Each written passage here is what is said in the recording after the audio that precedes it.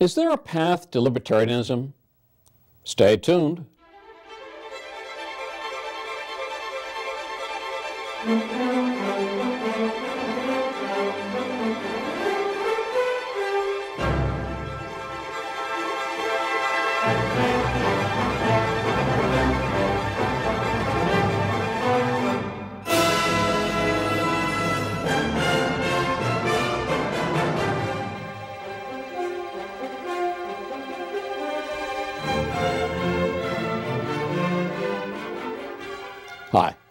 I'm Bob Odden, your host for Libertarian Viewpoint. Libertarians believe in liberty, freedom tempered by human rights. How could anyone have a problem with that? This show gives you, the viewer, the non government liberty solutions the media refuses to tell you about. Then you can see for yourself what the best choices are.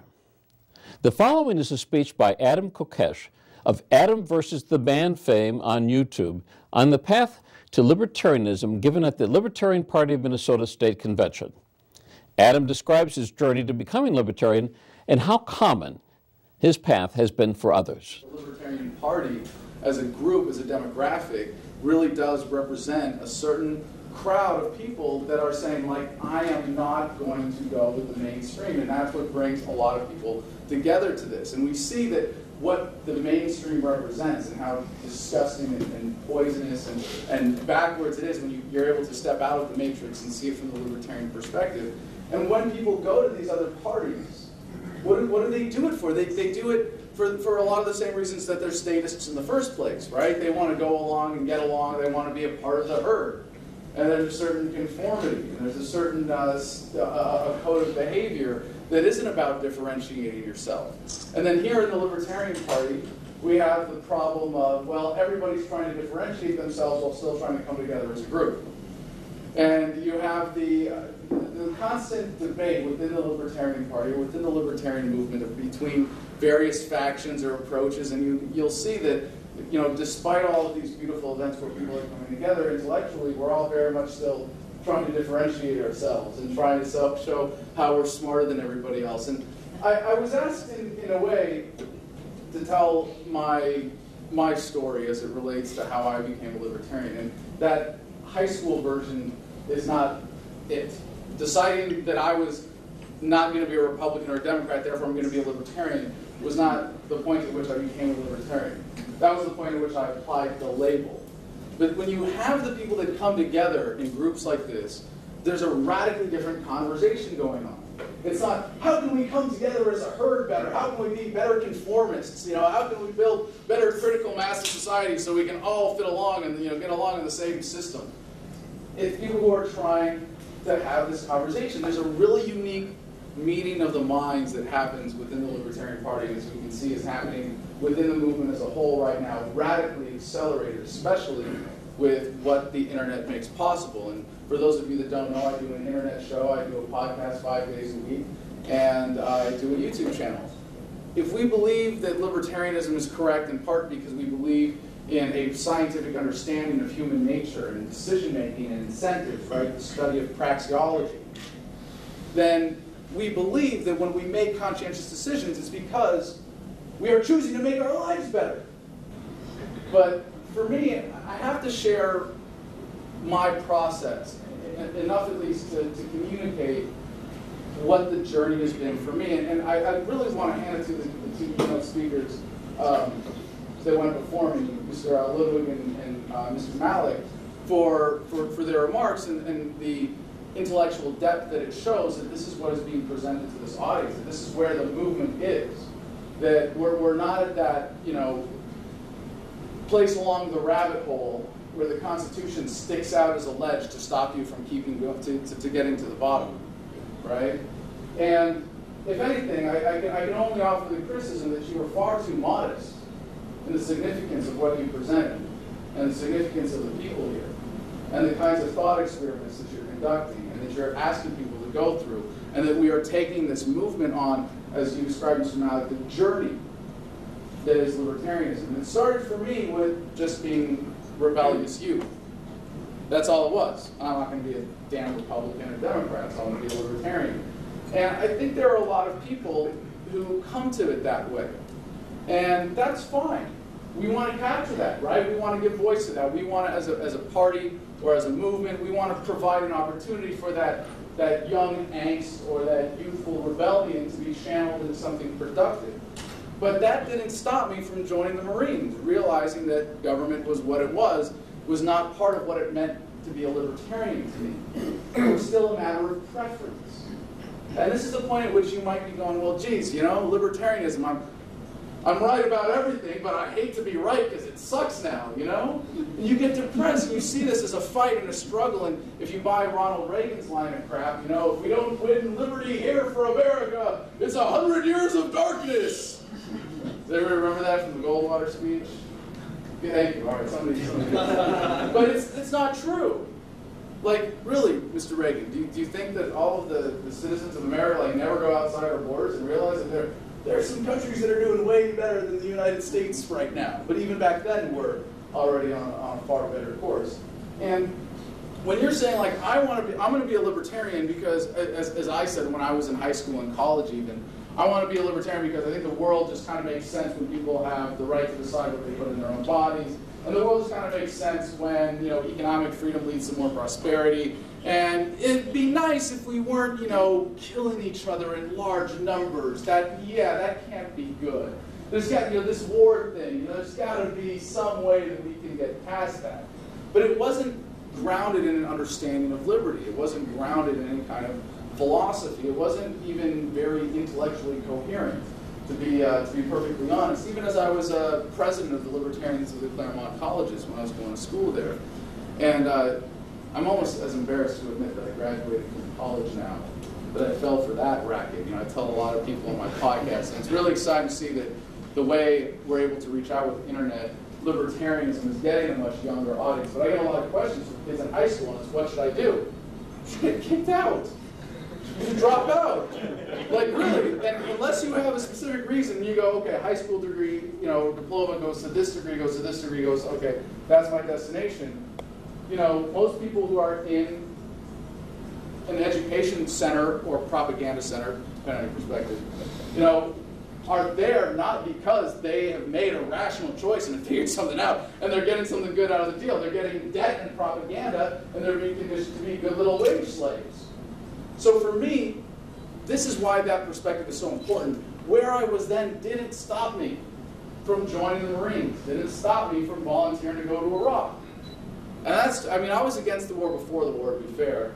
Uh, I saw that it wasn't in our nation's best interest. But this is the problem for me is, of being a libertarian, looking at it as a pragmatist. I wasn't thinking, well, geez, you know, what is Christian just war doctrine? or what constitutes an appropriate use of force, or what is the justification for the national defense in the first place. You know, I never, never went to that level. I never questioned those presumptions. And so I was able to say, well, screw it, I'm going to give my body to the machine. I didn't believe in the invasion, but I, believe in cleaning up our mess. I was anti-invasion, but pro-occupation. So I volunteered. I was in Fallujah in 2004. I got in trouble for bringing a pistol back. Uh, and this is what's so important to me about, about my story. And I think one that really needs to be remembered in, in who we are as a movement, especially at this particular point in history. Because I was going back to Iraq. I want, you know why I was going back to Iraq? Because I didn't get a Purple Heart the first time. yeah, they really flip a switch, you know, when you go through boot camp, especially in the Marine. And if it wasn't for that experience, I wouldn't have.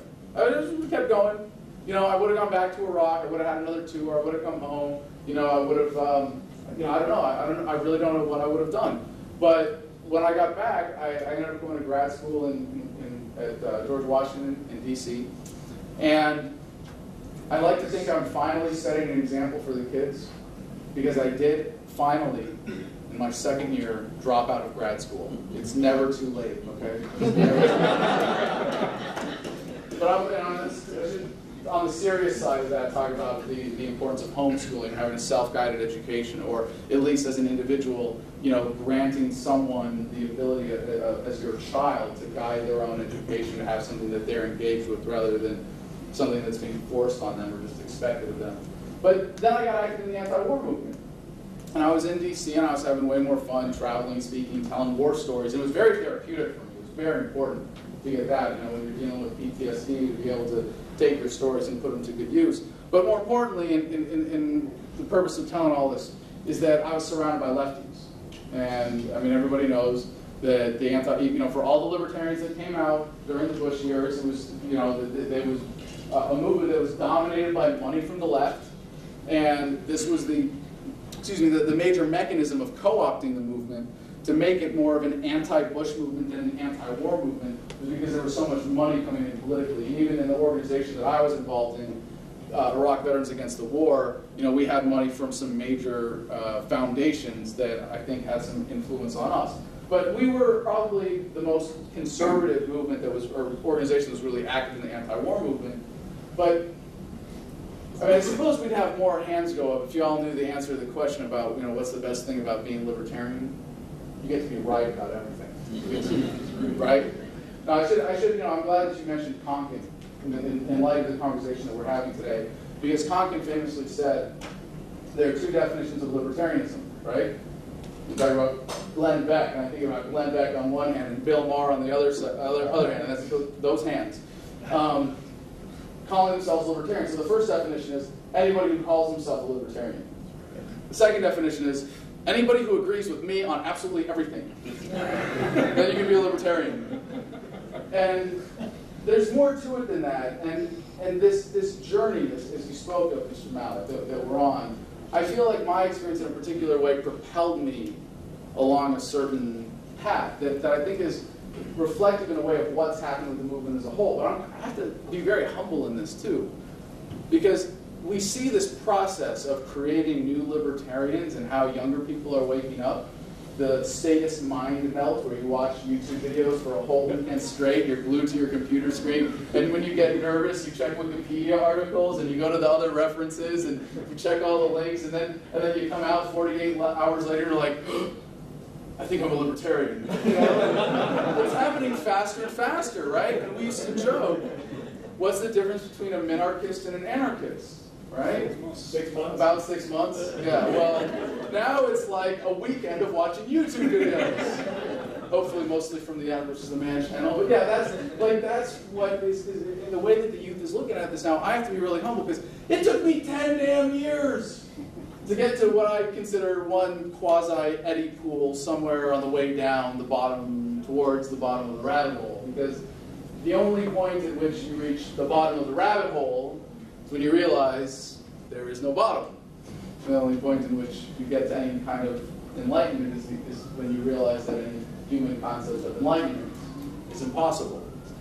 And so when I was surrounded by lefties, it was, I want the airtight arguments.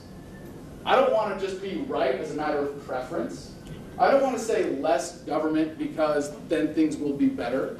I wanted to have the irrefutable, airtight, scientific, this is how it happens, logic, ration, A to B to C.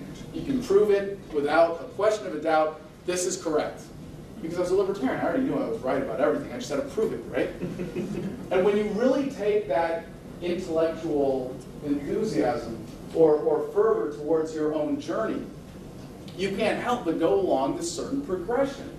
And with what you're saying about how people are looking at the market for justice differently, and, and uh, Mr. Lloyd, how you showed how there's a, an evolution of thought as well within the libertarian movement as ideas are being developed and, and synthesized, we see that the movement as a whole is really going through a different way of thinking. There are a lot of people who started down the rabbit hole, and they had a moment that was truly awakening when they realized the government didn't care about the Constitution, where they, when they realized that the propaganda on the mainstream media was, was just there to, to get you to obey and, and fall in line. And they said, all right, and if we just got to the Constitution, and then you stop, and stop thinking. And a lot of people just, and then they, they go, well, if, if we just get to the Constitution. And that's the fight for them. And it's a struggle and it's, it's a war, and it's an argument, and it's this combative thing. And it's very frustrating for a lot of these people. You don't see, I don't know if you've noticed this, but uh, speaking of those of us who've gone just, just a little bit further down the rabbit hole to the anarcho-capitalism, voluntarism perspective, you, you almost, uh, you know, you don't see as many anarcho-capitalists you know, waving pitchforks and screaming and getting angry or, or crying on television. You know, you just, you don't see that. because it's, it's kind of a, a Zen libertarianism that you come to. And, and I feel like where, where I've gotten to, where I've gotten propelled over the course of my journey is, with, with such momentum that, that I can't stop. And I feel like it, it, many times I, I lose people and I go, I go too far. But it's not like any other political ideology where you can see conservatives and liberals get along, right? Because they, they're saying, well, we want the guns of government to be pointed at these people, to organize society this way. And they say, well, it's our preference that guns of government be pointed at other people. So we can organize it a different way to suit our, what comes down to an aesthetic preference. But they're all in agreement that society should be organized that way. And there are a lot of libertarians who are still in that fundamental statist approach. Less government is a matter of preference, not a matter of principle. And the younger people who are getting this are coming to it so much faster because the internet has created this expectation. You have the truth button right there at your fingertips, one click away. If you notice how the conversation has changed, you don't stop and debate facts anymore. That's a thing of the past. What, uh, who was that guy that was elected, who was in that race, who did that thing, that shot that guy? I don't know, I'll just look it up for you. Just like that. Do you know how much the conversation fundamentally changes when it shifted from conjecture to just being fact and analysis based? And I feel like I, I, I just, I, I, and I know there are a lot of people who are, who are way ahead of me on this line of thinking, who have gone so much further down the rabbit hole, who have, who have had the luxury, I would say, of being able to have their heads steeped in these issues and being able to think about this stuff all the time. And I know that, you know the great writers like like Rothbard and, and, and Mises and Hayek and, and so many others. But you know, for me, Ethics of Liberty by Rothbard that was that was a really important turning point for me philosophically. But when you step further back from this perspective, and, and I feel like where I'm at right now, I've, I've gone far enough along this path that I've gained just enough perspective that I think with what I'm doing right now, I'm able to see something that I really want to share with everybody. And I really want people to get what gift it is that has, that has been bestowed on me by luck and circumstance of whatever ideas have come together in my head to make this vision possible. But what we are seeing is an evolution of thought and a paradigm shift. And where I have gone on my journey, what makes it significant is not that it is something unique to me, but how ununique it is. How incredibly unspecial my experience is. Because I see that it is happening on a much broader scale. It is happening as the destiny of the species right now. And you can think about this in terms of, you know, if, if we don't get freedom now, it's a hundred years of darkness or it's a fight. And can you imagine that? Like, could, could we really lose? Can you imagine? I mean, people say it's like, it's really hard to imagine a world without government or a voluntary free society. Can't imagine anything else 100 years from now. You want to tell me that this institution of forced fraud and coercion that is government, you're, you're telling me that the market, that the forces of nature, of evolution, aren't going to render this thing obsolete? That's what I have a hard time imagining. And you look at the effect on tech, of, of technology, and I, I want to go back to your example of of the, of the free market for justice that's developing. And, and you can have your ideas and say, well, if we didn't have the government coming in with courts and with cops and, and, and everything else that's a part of the system, you know, how much better could we do it with today's technology? But you know what? If you have the idea for the, the reputation agency, you got to test the market, right? But the fact is, it doesn't matter if your idea comes to fruition. I think the most important thing we can keep in mind as libertarians, when if, if we truly are true to the philosophy we honor what we say when we say that, hey, the market is going to be a better way of organizing society, that is the collective combined wisdom of all the independent actors coming together, deciding through voluntary transactions what's best for themselves, rather than centrally planning. No more can we centrally plan the future and suggest that it's going to be this way. We can only suggest ideas and test them in the market. But it's even going further than that, because your agency might not be it, but the effects of what you're talking about, it's already happening. It's already happening. How many people have had disputes in this room where you said, you know, I could go to government, but I didn't? Just that. And the way that technology empowers us with the technology, the, the, the communications that we have capable, allowing us to organize as I think you mentioned mutual aid organizations. I think both of you talked and, and, and touched on how people are coming together to peacefully do these things. You described it as a shadow government that we would that we would be developing, as, as Samuel Konkin described the pockets of agorism developing. But it's more than that. And I think this is one thing that, that Konkin got wrong.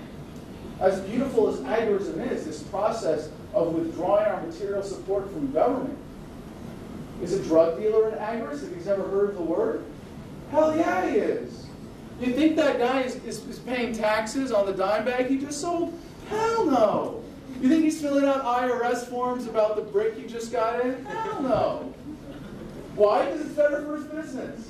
You think for me, when I pay people that work for me, when I try, when I pay cash or silver, or I guess I'll just leave it at that. Um, you think I'm doing it just because it's the, it's the moral thing to do?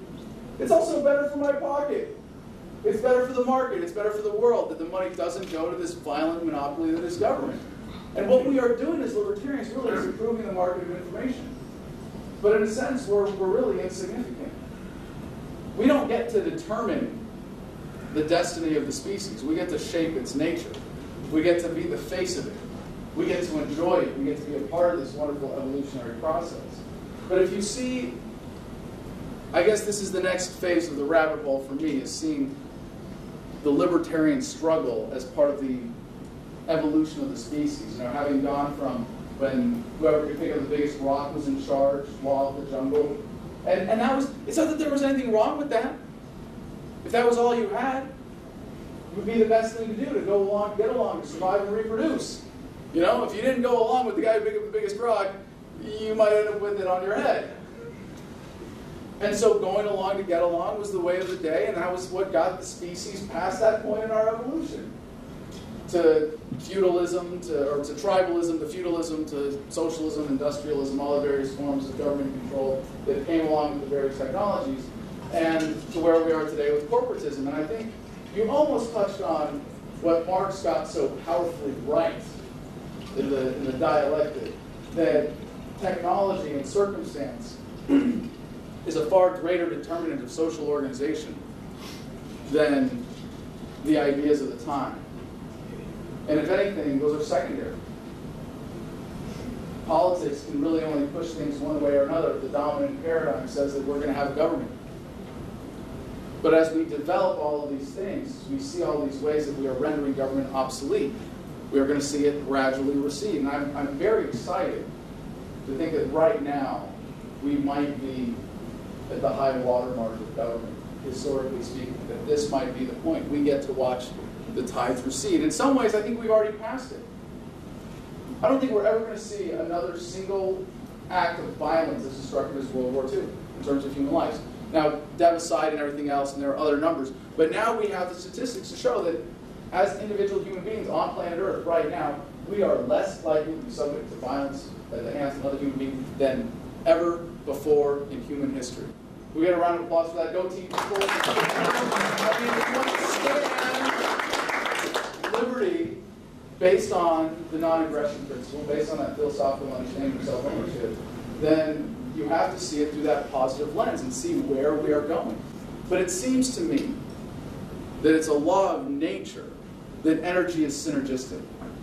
And that we have this exponential course that we're on. And we can see it now in the brain explosion that we've experienced as a species. And we can see it in all the various curves that we can actually plot now. Moore's law, right? Technology, uh, computing capacity doubling every set period of time to the point where we're going to have computers that are smarter than you know the human mind, which is almost a, a silly arbitrary benchmark, is it not? But you see where we're going with this, is it gets exponential. Right now, I could probably look it up on the internet and tell you where the fastest computer on the planet is, right? What happens when you're just telling that computer, by the way, design the next one, then design the next one, then design the next one? And that curve goes, you know, these are exponential curves. Hypothetically, they never go vertical. But what happens when, for you as a human being, your brain is just so capable of processing information and the rate at which computing power capacity is accelerating is just magnitudes, billions of your brains getting more and more powerful in, in a shorter time frame than your little brain can even conceive of. It's at that point that it might as well be. But here's the cool thing about this. There are two other curves that follow. One, human productivity. We see that happening all around. It's just the fact that we're able to do what we do. That we're able to see that coercion is always inferior to persuasion. We see it today persuasion. We see it today in the way that information is being shared on the internet. But we see it in all these ways that agorist organizations are coming together, that businesses are able to communicate and not support government, that they're able to do what they do and move humanity forward and be innovators and entrepreneurs and advancing how we do things that just make government ridiculously laughable. But there are benefits to this too. There are very, very real, tangible benefits to this. And adopting a way of thinking along these lines and being able to see yourself as part of this rich human experience as an individual. And there's a, you know, the, the agorism is a big part of the how of this. And I know there are a lot of people in here who run for office, who have, who have participated in the political process, and I've done it myself, and I'm not against that. I think it's important that we take advantage of the platform that government creates with money stolen from us to spread a, a subversive message, if nothing else. But I think at some point we are going to turn the tide. At some point we are going to push back, and it's going to be manifest through the political process one way or another. Frankly, I'm not too concerned about that. But the real benefit to this is that this is how you maximize being a libertarian and actually making your life better. Because when you see it this way, when you're able to look at the world philosophically, when you're able to recognize what is a snag on your way down the rabbit hole, you don't have to fight anymore. You don't have to resist. You don't have to be upset or indignant or offended or feel like a victim. Because instead, you get to incorporate this in how you relate to your fellow human beings and how you relate to the rest of the world and ultimately how you relate to yourself and how you see yourself as a truly free, beautiful, independent human being. And instead of fighting, you get to live free now. Thank you very much.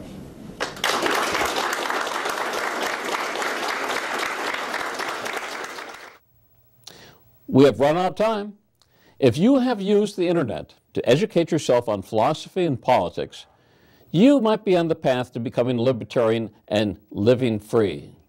To find out, take the world's smallest political quiz at www.theadvocates.org.